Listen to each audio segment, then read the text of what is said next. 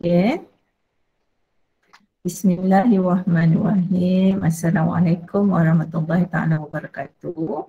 Okey, untuk hari ini kita akan tengok perbincangan kertas tiga bahagian uh, set soalan yang C. Okey, set soalan yang C ni pertama sekali, okey, uh, ini teacher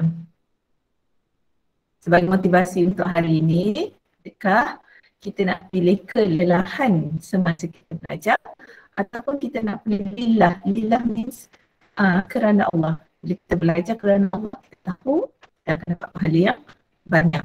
So lelah, kita akan merasa lelahnya kehidupan akan datang nanti sekiranya kita uh, tak belajar bersungguh-sungguh ataupun kita membiar hidup kita dengan lalu begitu saja. So susah sekarang akan membawa kesenangan masa depan. Okay? Okay, untuk hari ini muka surat uh, 236 buku teks. So kita ada satu aktiviti yang membantu kita untuk uh, mengenal apa? Pewarisan monohibrid. Okey. Pewarisan monohibrid di mana dia menggunakan dua dua bekas yang berbeza yang mengandungi uh, bilangan manik merah dan manik putih.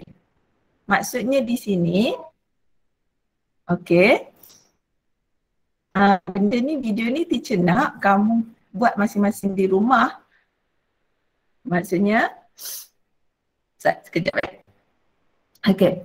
Uh, cuba buat di rumah dan videokan. Okay, macam mana analogi ini berlaku untuk kacukan monohibrid. Okay.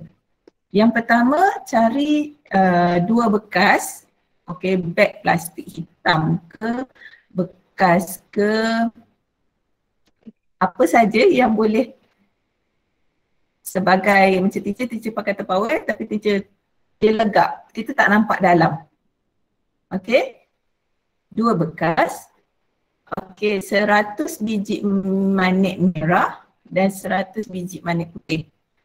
Okey, seratus biji manik tu boleh ganti dengan kamu boleh ganti dengan apa saja objek kacang ke guli, permainan, lego ataupun butang Okey, apa yang teacher guna?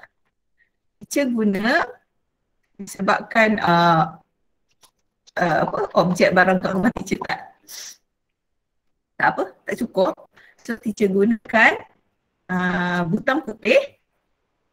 Butang putih mewakili biji manik putih ataupun butang putih ni teacher wakilkan sebagai alir resesif untuk bunga warna putih.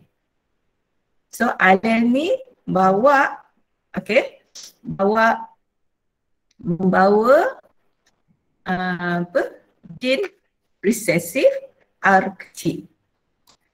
Manakala, okay, yang warna-warni ni sebab tak ada warna merah, semua warna merah tak ada. So teacher ada yang 100 warna putih dan 100 yang warna-warni.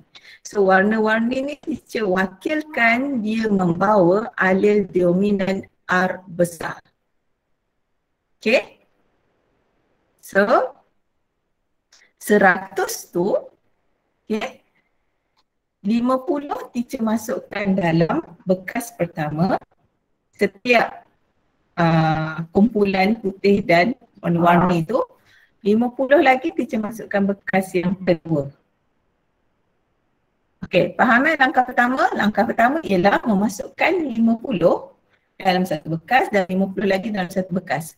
So dalam bekas ni ada 50 yang utama biasa ni sebagai recessive huruf R kecil manakala yang warna-warni mewakili ada 50 juga mewakili uh, dominan R besar. So, apa yang kita nak kaji kat sini ialah kita nak kaji warna bunga, kacukkan warna bunga dominan warna merah, R besar, resesif, warna putih R kecil. Okay, macam mana konsep dia berlaku ialah sebab dia kebarangkalian.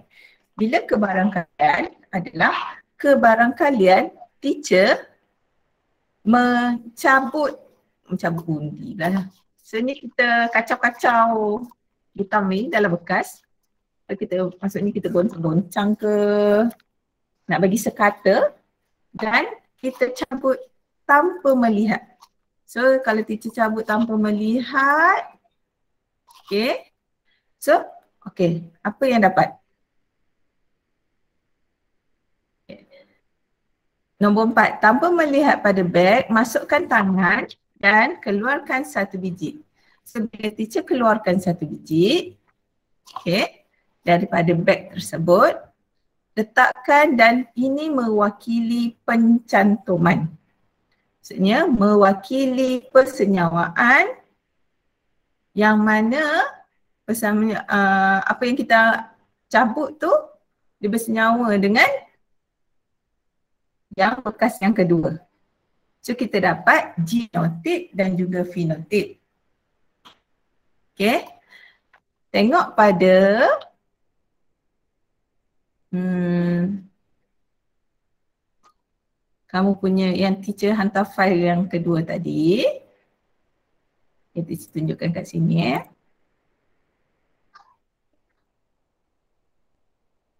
Okay.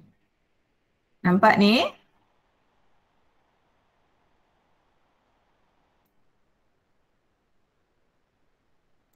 Okay. Bila setiap kali cabutan, kamu tuliskan pada kotak yang diberi. Maksudnya nombor tu mewakili cabutan. Okey, katalah cabutan kali pertama. Sekarang teacher dapat daripada bekas satu warna putih, bekas dua warna putih. So genotipnya adalah bila dia berlaku persenyawaan, R kecil, R kecil, fenotipnya putih. Okay, ini cabutan pertama. Dan selepas cabutan pertama, masukkan balik kedua-dua yang kita cabut tadi ke dalam bekas asal dan kita buat cabutan kedua. Cara okay, bila teacher dapat cabutan kedua, teacher dapat dua-duanya yang berwarna. So, tulis pada kawasan sini. Okay, yang berwarna pula. Okay, yang berwarna maksudnya mewakili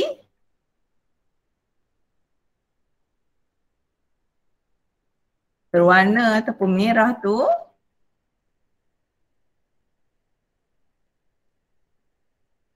mewakili R besar R besar dan fenotip dia merah.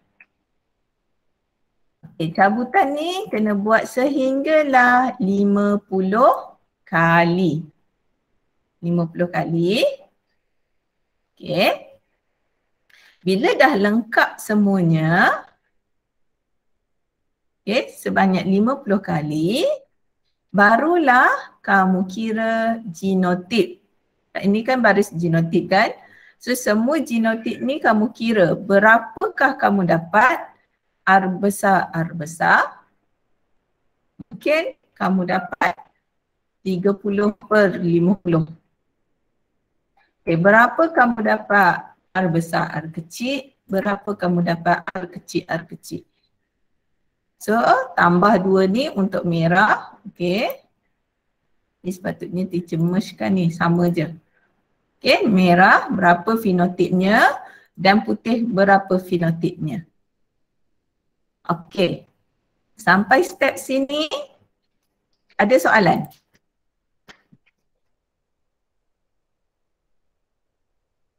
Ada soalan tak?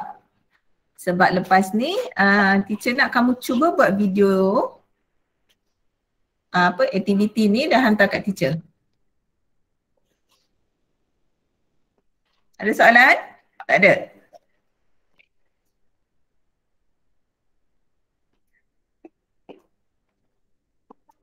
Okey. Kalau tak ada soalan, kita nak masuk pada okey, pada latihan kertas tiga. Okey, kat bawah ni ada soalan perbincangan yang uh, kamu kena jawab. Okey, apakah jenis pewarisan yang ditunjukkan dalam ciri yang dikaji dalam eksperimen ini? So dalam eksperimen ini kita hanya mengkaji satu ciri, maksudnya pewarisannya adalah pewarisan monohibrid. Okay, adakah keputusan yang diperolehi mematuhi nisbah yang dijangkakan? Sebab dalam teori monohibrid yang kita belajar adalah tiga nisbah satu. So keputusan ini kamu kena tengok hasil akhir yang kat sini. Okay, bila kamu tengok pada hasil akhir fenotip, jawapan kamu kat sini mestilah antara ya ataupun tidak. Dan terangkan jawapan anda. Jawapan ni kamu terangkan kenapa dapat merah. Kenapa dapat nisbah banyak? Kenapa kalau tidak kenapa tak dapat nisbah banyak? Okey. Nombor tiga, mengapakah manik dikembalikan ke dalam plastik bag selepas setiap kali pemerhatian direkodkan? Okey, kenapa kena kembalikan dalam bekas tu semula? Okey, bekas tu semula supaya uh, dia punya sebab satu bekas tu mewakili satu apa? induk. So kita nak menghasilkan keba- kebarangkalian yang setara. Okay. Cadangkan uh, langkah yang dapat meningkatkan ketepatan eksperimen ini. Okay untuk eksperimen ini menjadi lebih tepat sebab dia kata kebarangkalian kebarangkalian tu mestilah uh, objek yang kita guna mestilah warna berbeza dan dia punya apa bila kita pegang tu dia tak boleh memberikan jawapan eh kejawapan dia tak boleh dapat dibezakan dengan sentuhan. Maksudnya kalau kamu guna kacang, mestilah kacang yang bentuknya hampir sama. Kalau guna manik, mestilah bentuknya hampir sama. Walaupun warna dia berbeza. Ha, itu yang dapat meningkatkan ketepatan. Okey. Boleh?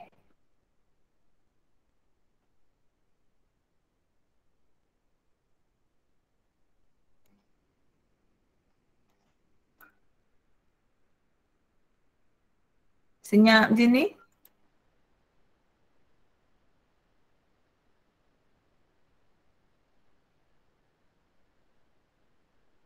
Okey, kita tengok pada soalan.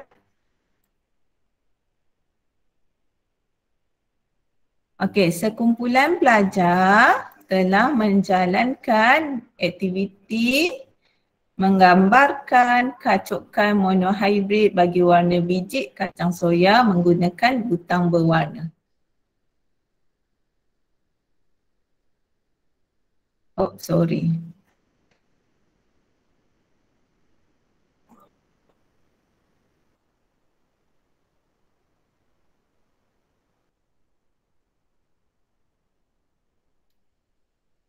Tadi.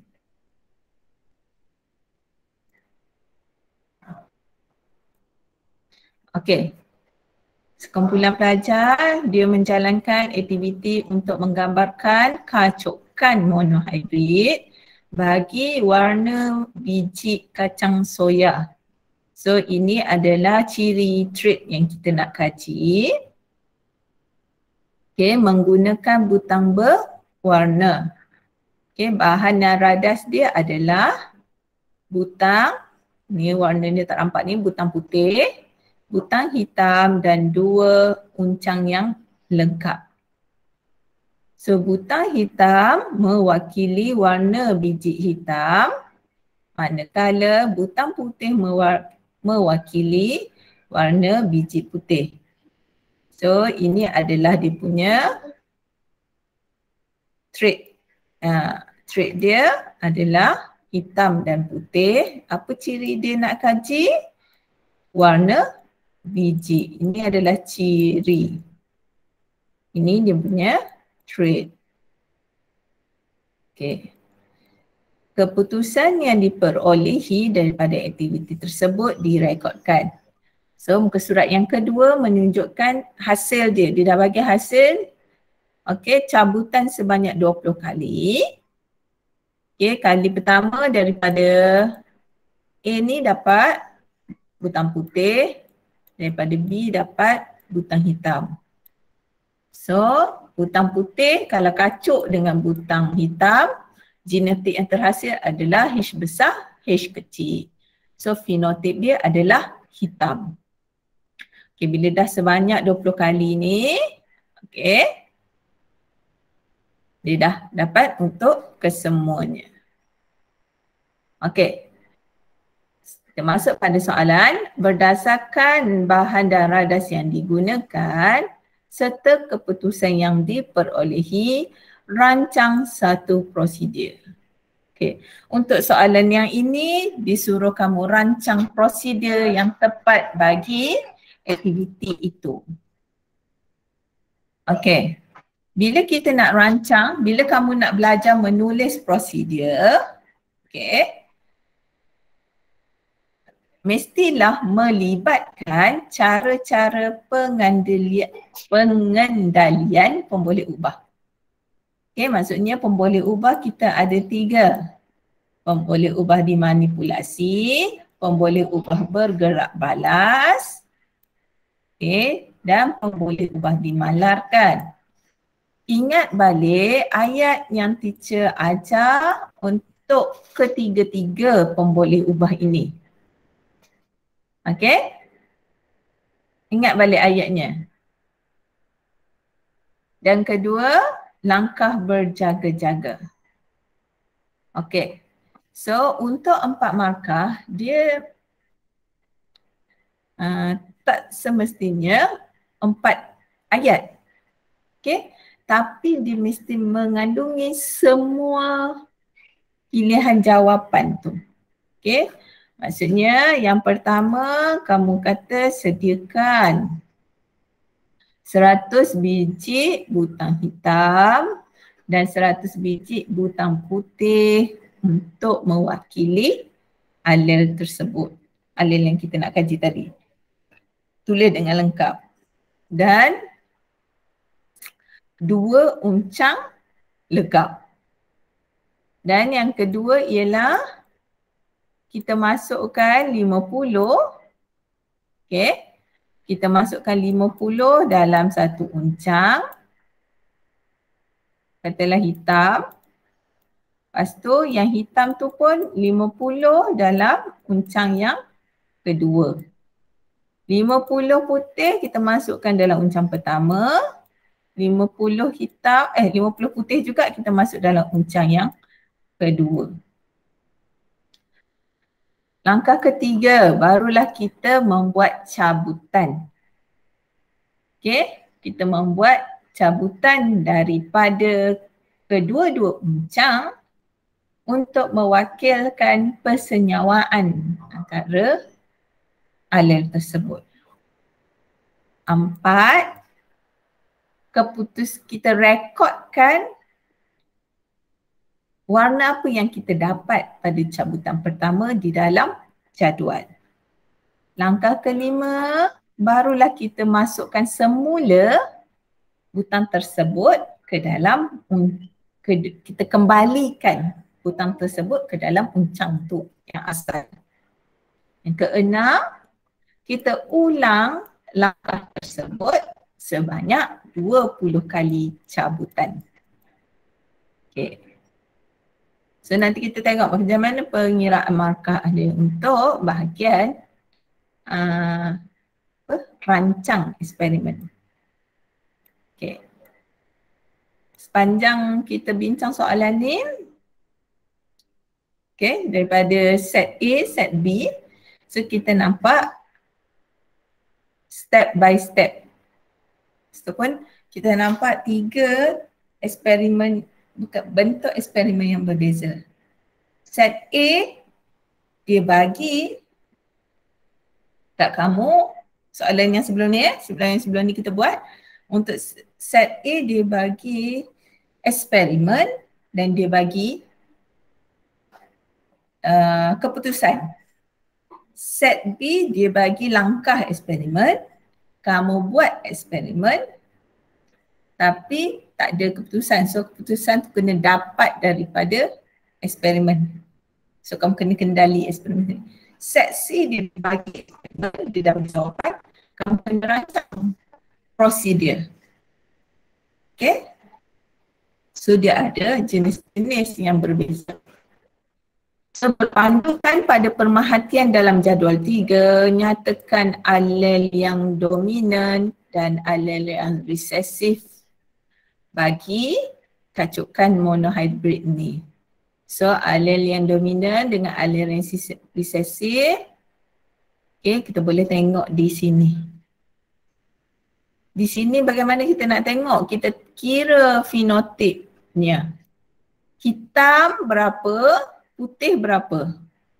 So daripada sini kita nampak hitam mendominasi.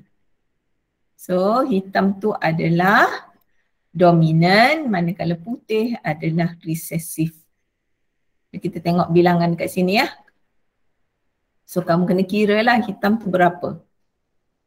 Okay dan terangkan. Macam mana kita nak terangkan? Okay, kita terangkan dengan kita menyatakan uh, alih resesif dan alih dominan itu. Nanti kita tengok bagaimana ayat penerangannya. Okey. Hasil daripada yang kamu kira daripada jadual, kena lukiskan carta bar. Okey. Carta bar, ingat carta bar macam mana? Menunjukkan bilangan fenotip yang diperolehi melawan warna butang pada kertas graf. Bilangan fenotip. Okey, bilangan fenotip paksi Y. Kenapa Y? Sebab dia melawan warna butang. So warna butang kita ada putih dan merah. Bilangan fenotip kamu kira berapa daripada keputusan. Okay, daripada jadual keputusan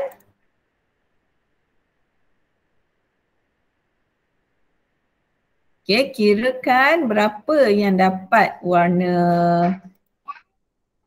hitam, berapa warna putih. So, buat carta dia. Okay, dalam kertas graf. Lepas tu, ramalkan nisbah yang diperolehi jika cabutan dibuat sehingga 50 kali. Okay, ramalkan dia ramalan dia adalah 3 nisbah 1. Okey, 3 untuk dominan. 1 untuk recessive. Okey.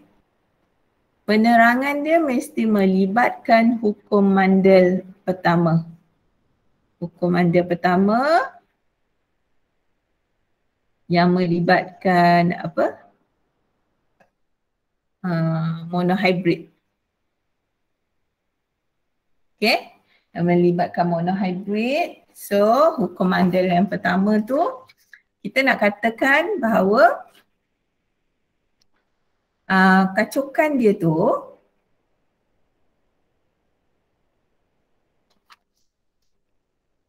okay.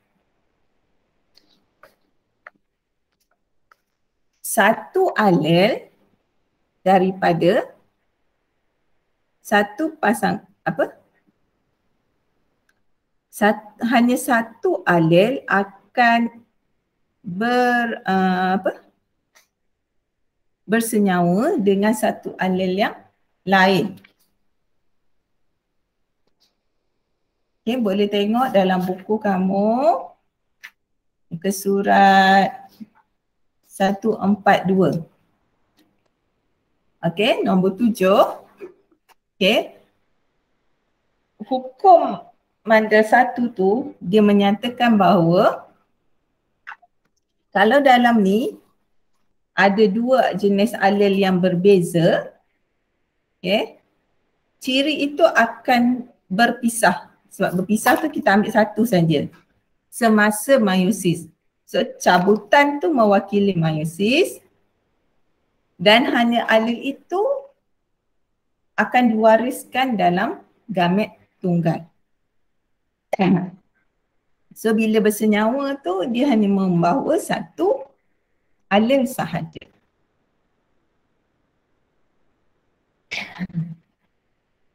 Okey, untuk di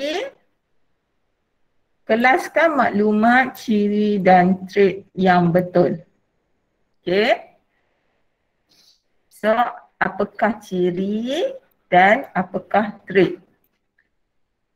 Tengok, warna bunga ciri ataupun trait. Okay, warna bunga adalah ciri.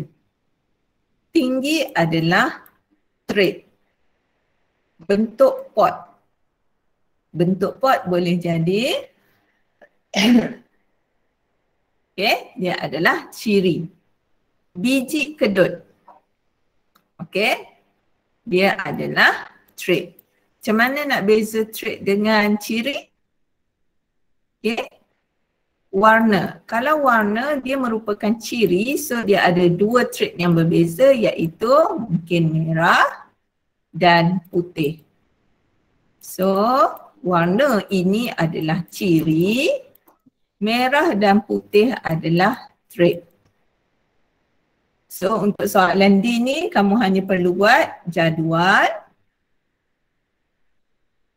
Okay, lepas tu one, uh, apa, sorry, ciri dan yang kedua adalah trait. Okay.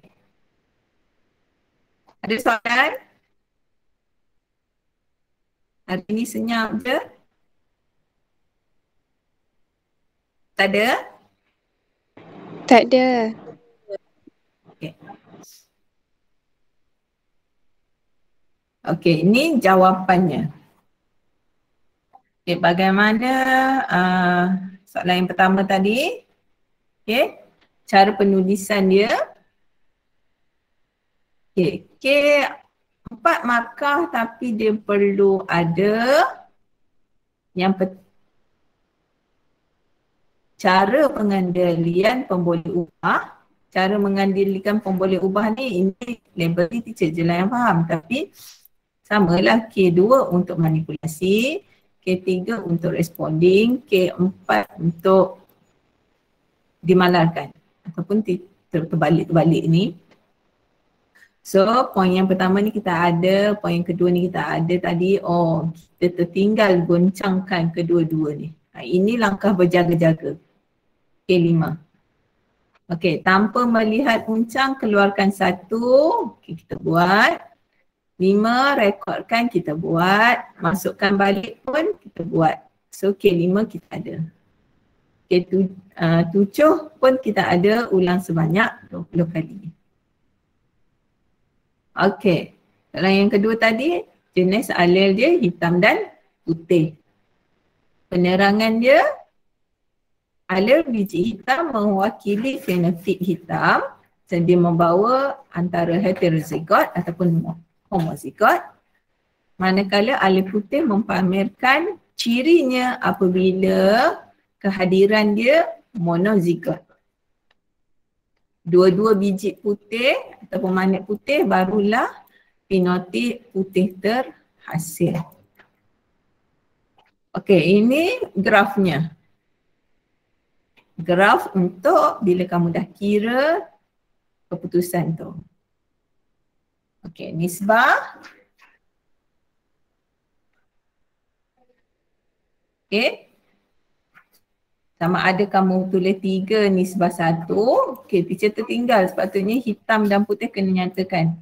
Tiga hitam nisbah satu ataupun kamu kira bilangan. 37 ni bilangan penuh dia. Mana-mana boleh. Okey, penerangan dia adalah kacukan monohybrid ataupun kita menerangkan uh, macam tadi kita terangkan hukum mandel pun boleh. Sebab hukum mandel pertama menerangkan tentang kacukan monohybrid. Dan ciri dan trade. Ya, ini mudah saja pengelasan. Okey. Habis untuk hari ini.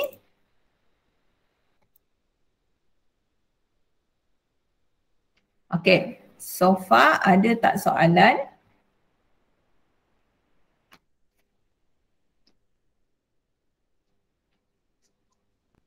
Tak ada.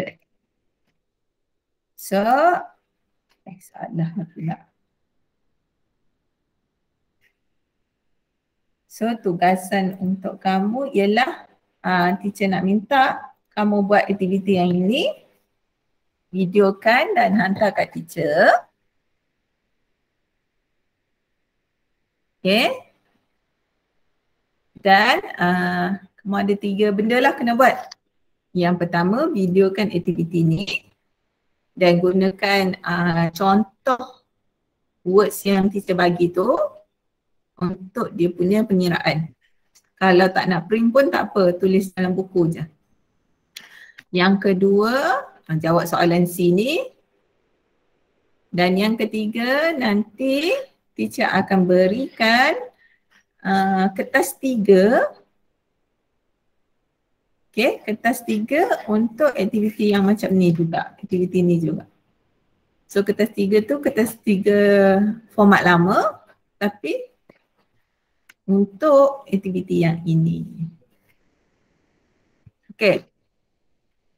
Ada soalan?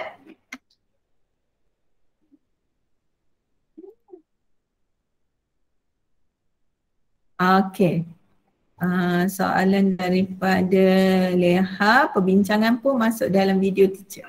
Uh, boleh? Maksudnya kamu sama ada kamu, kamu videokan jawapan kamu tu jawab dan katakan kamu videokan jawapan ataupun kamu cakap pun boleh. Cuma yang 50 kali tu kan panjang kan. Sama ada kau buat apa kita panggil lah time lapse laju kan. Okay lajukan step-step tu ataupun kamu terus apa shortcut langkah pertama hingga dan langkah terakhir. cabutan pertama dan cabutan terakhir tu. Okay. Boleh? Maknanya dekat dalam video tu semua prosedur ada lah teacher? Semua prosedur ada. Hmm. Maksudnya Wawa nak buat macam mana? Nak tunjukkan prosedur dalam buku teks ke? Uh, kalau nombor satu tu kan masukkan 50 biji man, uh, manik semua tu kat dalam tu kan. Lepas tu hmm. kena, uh, kena letak dalam uh, video ke? Kena tulis kat dalam video ke? Uh, ikut kreativiti lah tak apa. Kalau kamu nak buat video tanpa suara, nampak tangan dia. Lepas tu kau tarik dia punya kenyataan tu pun tak apa ataupun kau buat macam teacher buat teacher tunjuk tadi. Maksudnya sambil bercakap. Itu pun dah kira prosedur lah. Maksud, langkah pertama sediakan. Pertama masukkan macam terpulang pada kreativiti masing-masing.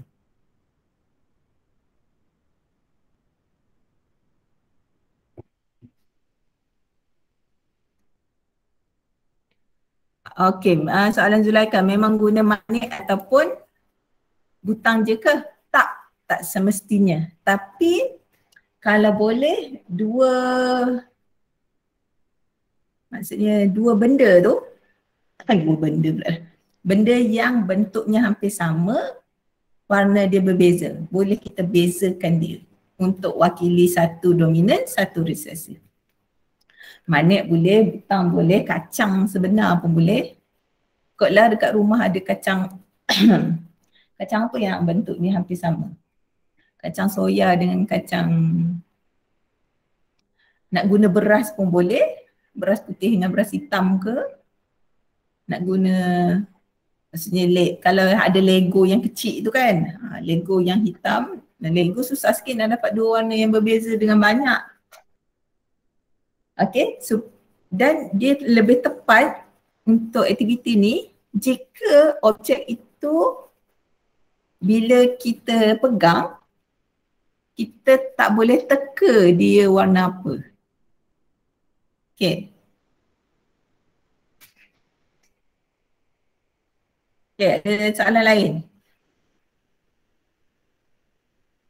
Boleh je dalam plastik pun boleh. Okay, soalan Zulaika boleh tak dalam plastik ke ataupun dalam bekas lain. Uh, tak kisah, bekas tu tak kisah. Janji legap. Legap maksudnya tak tembus. Nak buat macam tijak, nak buat dalam cawan pun tak apa. Janji dua bekas yang tak nampak tak, tak nampak, uh, legap lah tak nampak dalam tu. Plastik boleh, nak buat uncang boleh, nak buat kata power pun boleh. Okay. Ada soalan lain? Perbincangan tu type dalam video boleh kan teacher? Boleh je. Okay. Okay.